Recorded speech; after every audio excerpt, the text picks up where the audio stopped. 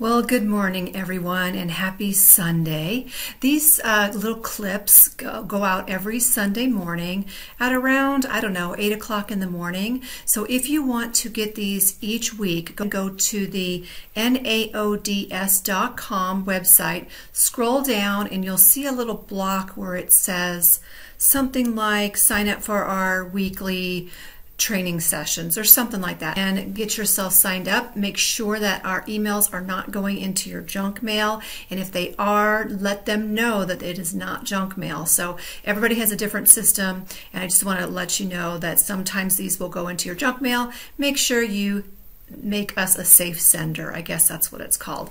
Anyway, my name is Michelle Stelling, and I'm the founder of the National Association of Digital Scrapbookers.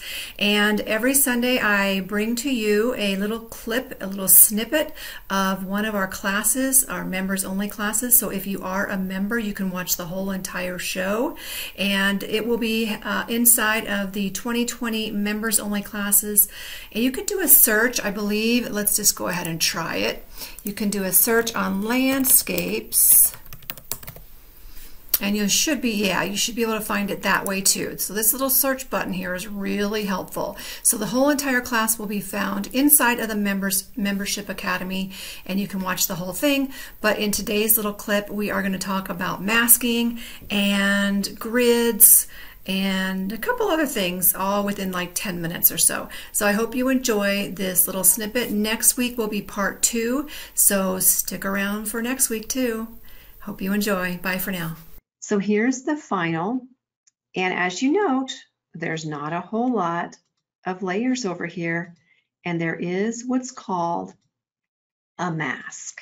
These two, the top layer is of course the text. So if I turn them on and off, you're going to see what's going on on that particular la layer. So that one there is a simple little um, border. And then here's another border. I, I, like borders for some reason. I'm just really stuck on borders. And then this right here is the original photo. And then the mask, okay? The, the mask is at the bottom. So it's really a, real, a simple layout. You just got to know the steps. So let's get started on that one. I'm going to put the mask on first because that's the thing that freaks people out the most. So let's get that out of the way.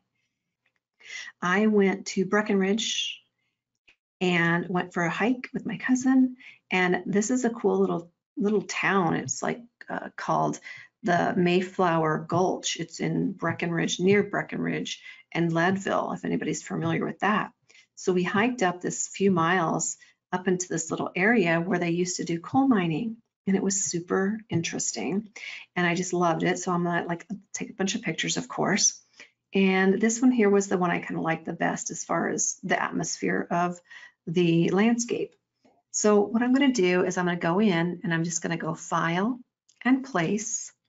I'm going to place what's called a mask. It's kind of like a big brush. I'm going to enlarge that to cover my whole entire page. I'm going to rotate it just a little bit as well. So I want the text to be kind of straight. But what you do with the mask is what you, want to just take what's black and make it appear. The photo that's in the black, let me show you here.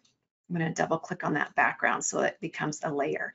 I'm going to take that and put it on the top. So anything that is black, see over here to the right hand side, that layer over there, anything that's black is gonna show through. So let's right click and choose create clipping mask.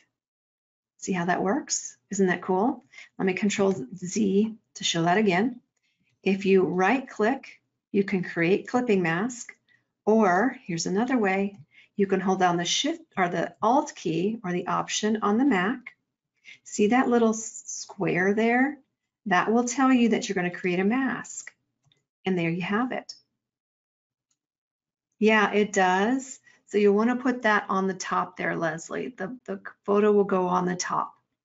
Now I want this to be flattened, so I'm just going to right click and I'm going to choose, I'm going to merge them or flatten, whichever and that will make that white background there.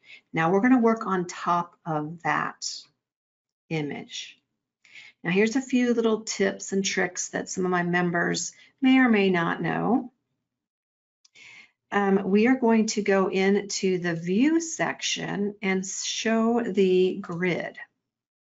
Now it's very light, but this is really good for when I want to add borders, which I do regularly. But I don't want these grids, I want it to be a little bit bigger. So I'm going to go up into the edit feature and I'm going to go to preferences and guides and grid. I'm also going to change the grid every two inches instead. So did you guys see what just happened there? Look at the background and look at the grid. When I do one, there's lots of little grids. When I do two, it gives it more grids. I don't know if you could see that. Let me do a different color here. Mm, red doesn't show up that much either, but just check the difference here. Let's just go out with one. Click on OK. Now they're tiny, right? And if I go back into Edit, Preferences, and Guides and Grids, and I want it to go every two inches, now you can see the difference, right? I hope you can. And now what I'm gonna do is I'm gonna put a layer on top of that, and I'm gonna go in, this is kind of different and odd, but this is the way I do it. You can do it so many different ways. I'm gonna go get my rectangle elliptical marquee tool. See this? The rectangle marquee tool. And I'm going to click and drag and it's gonna bounce to the grid.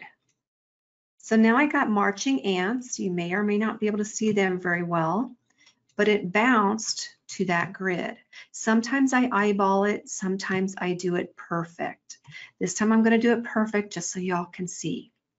Now I want this to be a stroke of, I'm gonna bring in this dark blue. Okay, so I'm gonna go to Edit, Stroke Outline Selection. I'm gonna go with a 20. I don't know if that's gonna be good or bad. I'm gonna go on the inside and click on OK. That's a pretty good size. Did you see that? Let me do it again. I'll do it with another layer. So I kind of like that. It's a little thick, but maybe the next one will be a little bit less thick.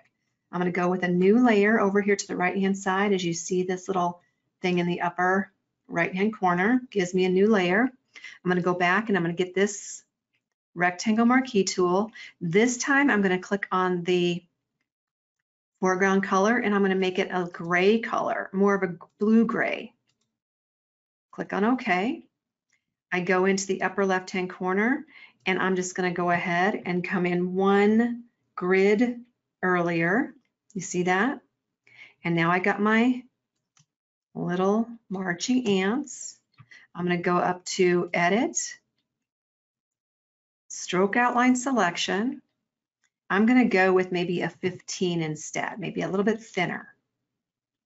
Okay, now you see that I have a thinner line. Now these could be closer together and I'm going to go to View and not check the grid so that we can not see that.